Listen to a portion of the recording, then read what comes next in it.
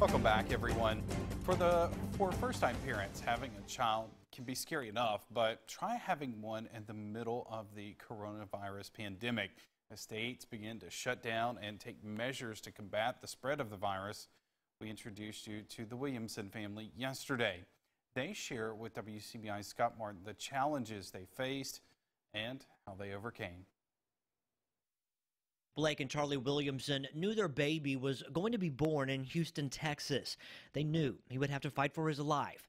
But what they didn't know is that the coronavirus would force the Lone Star State to shut down. We come for a preliminary visit in March, and while we were here in March, that's when uh, the governor here shut down Texas. So by the time we got out here in April, like we had to have papers to get here. Yeah, yeah. A letter from the doctor was their ticket into the state of Texas. You know, you had to be like your reason for visiting Essential Texas. We're like, yeah. so, you know, we have a letter. We're going to the hospital. He's just like.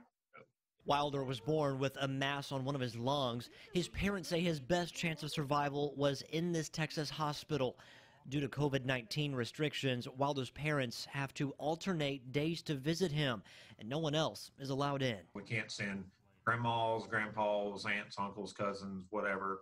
Um, so that part's a little tough because we're, you know, we have to FaceTime whenever we're in there to show the other one what's going on. Even during pregnancy, Charlie was the only one allowed to her appointments. 2020 has thrown a lot of curveballs at the Williamsons, but the love and support from their hometown of Starkville has kept them strong. They have been kind enough to go and check on our house. You know, they're taking care of the yard, they're checking our mail.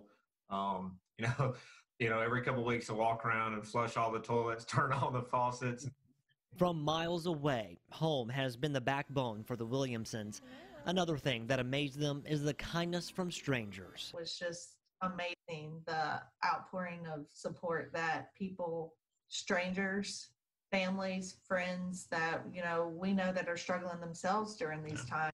Um, there are all these uncertainties of you know COVID and the financial effects for everyone right now, and they you know still were donating to us. So it was very humbling and yeah. overwhelming to know that that many people cared about Wilder and cared about yeah. us Wilder is expected to be in a Houston hospital for several more months. We'll have more on how you can help the family and Wilder's recovery. It's all going to be on our website, WCBI.com.